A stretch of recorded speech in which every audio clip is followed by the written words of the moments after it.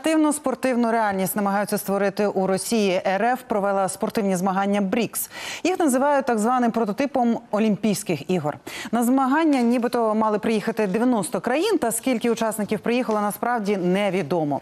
Деякі спортсмени дізналися про свою золоту медаль, приміром, уже з новин. Порожні трибуни і навіть п'єдестали для переможців. Тож е, як російські спортсмени змагалися з суперпротивниками, яких не було, наші колеги розкажуть.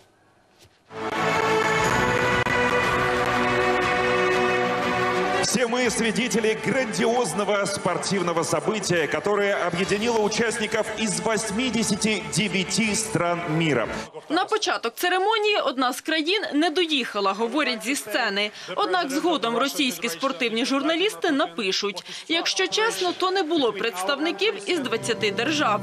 Наприклад, Німеччини, хоча зі сцени її все одно заявили. А деякі країни представляла лише одна людина. Хоча на змаганнях БРІКС було 27 різних дисциплін, а це майже олімпійські масштаби. Багато кому довелося змагатися самим із собою, тому назви деяких номерів були дійсно влучними.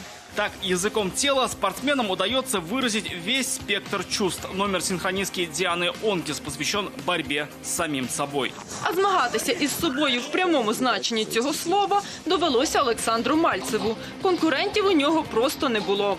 Та головне, говорить спортсмен, оцінюючи напівпорожні трибуни, що глядачів було чимало. Хоча організатори намагалися, аби в камеру потрапляли і люди, а не тільки крісла. Очень понравилось то, что на играх БРИКС э, было больше количество болельщиков, чем вот мы видели на последних э, соревнованиях э, на чемпионате России. И это прям придало намного больше сил, уверенности. И очень хочется, чтобы так было и дальше. Нагородження переможців теж було досить скромним і часто без спортсменів. За первое место награждается Уктамова Нигина. Спортсмен отсутствует на пьедестале. Литовський борець Андрюс Мажейка взагалі виграв золото, хоча на змаганнях не був. Просто його супротивники теж не приїхали. Литовська федерація боротьби заявила, нікого на змагання не відправляла. А ще Мажейка залишив спорт ще у 2021-му. Відмітилися й коментатори змагань, почали розповідати про руську расу. Красивый атлет, посмотрите какой. Жених настоящий, 20 лет всего. Девчонки, берите на заметку. Но только чтобы хорошая пара была. Всякие шмары нам не нужны. У нас должна быть хорошая генетика. Вот идет представитель русов, мощнейший парень, 98 килограммов. По закінченню змагань гостям влаштували свято. Дівчата билися мішками, хлопці у них стрибали. А ще й дорослі, і діти били палицями посуд.